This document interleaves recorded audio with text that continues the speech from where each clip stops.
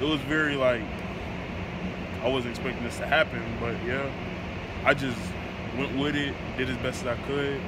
But like at the end of the day, I see it as a learning experience. What was your best moment last year? Um, probably Clemson game because I felt I played way more than I thought I was, and like I did good, but I didn't do as good as I wanted to. I felt like I really improved that game. What was the worst moment where you were just like, oh, I don't know, I know what I'm what I'm doing right now? The worst game was probably Florida. Yeah. Um, and like the games that we played, like little schools, like Akron, like I didn't do so good. Like I didn't have no type of stats, and I know this season coming up, I have to have some type of stat, stats every game. What was that like going through the Georgia game where it's your second game on campus and you got that offensive line on the other side? Uh, that right there was not fair at all. But life isn't fair. So, I mean, this season coming up, you got two SEC teams, two big time SEC teams, Alabama, Georgia. At the end of the day, I chose to play in the SEC, so I'm have to deal with that. Is, is there anything that can kind of mentally prepare a person for that kind of jump from you know high school to that, or is that something you just you got to experience, you got to go through? You got to experience. You got you, you got to go through it. Like, like you got to go through it. Honestly, like you're not you're gonna get thrown on your butt. Like no matter how good you are, it's gonna happen to you one day. What are your expectations for Saturday, the spring game? How much do you think you'll play? What do you expect out of yourself? I expect to show the South Carolina fans what they're waiting to see in August, September. Which is what?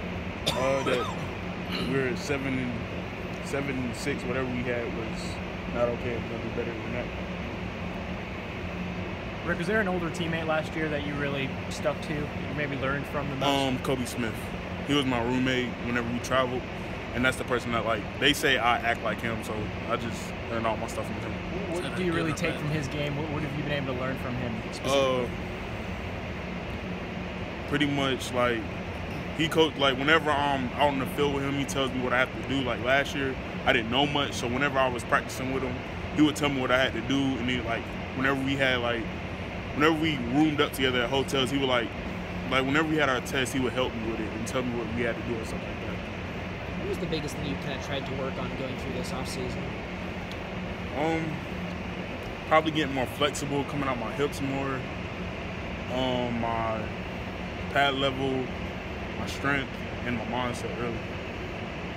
What's it been like with Coach Scott this this spring?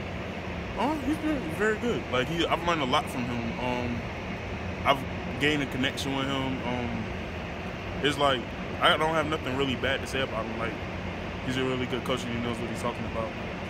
What does he bring to the table that's maybe different from what you've learned in the past? Um, I don't know. I don't know. I I feel like it does like it doesn't feel weird at all. Like when I met T, it, it wasn't that weird. Like it wasn't weird. Get used to him. Like I don't know. I just got used to him.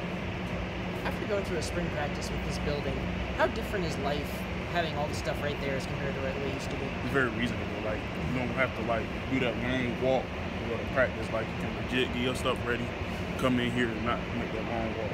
It's like reasonable. Is it kind of crazy that the, ne- the next group of, I I guess the, the current group of freshmen that have come in won't, won't know that walk at all? No. I low key miss it. I miss I miss being at the stadium, but like, yeah, I miss it. That's what they want though. Like, it's actually you actually will miss it.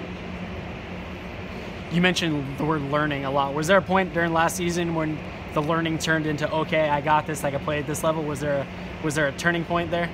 Yeah, I've also I, I felt like I got that turning point during spring. Like during spring, I started off kind of slow, but like towards now, I've been getting way better. I've been getting more reps. Whenever they, whenever Coach Muschamps mentions the like effort of the day and stuff like that, my name's being called more. Um, I'm just like, it's gonna be a like I'm gonna be a different person this season coming up. Really. What type of strides have you made in the weight room side of things now that you've been in the program for a while? Um, what do you mean, like getting stronger? Or yeah, like- do you feel stronger? do you Yeah, feel I feel like I've been getting stronger. body type a little bit? Coach Campbell has did everything right to get us as a D line stronger. Have you taken on a role in helping kind of guide Zach and, and Joseph kind of into this program a little bit? Yeah, you got to. You got to. Like I came in last year and I needed someone to help me. So at the end of the day, like after I have my freshman year, I got to help the people that come in. What have those guys kind of shown you through through